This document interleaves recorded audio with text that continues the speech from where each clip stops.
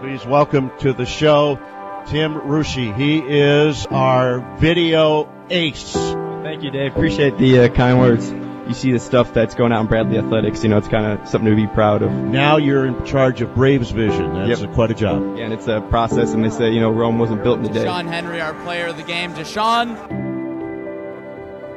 knowing how grateful I am for everything that I have drives me to try and be the best person I can be.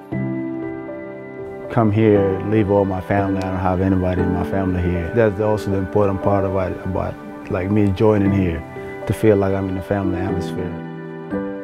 That's what the Bradley's whole been about. Just everyone just come here and just lay the different bar, let bar to the point where this year we just at the top of it and we were able to just take that leap off.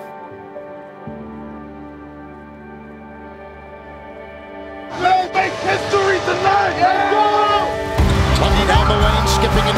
getting the deuce. And that is a service ace for Matty Peterson to put the game away. best team in program history with 15 wins just broke the record. So pretty fun.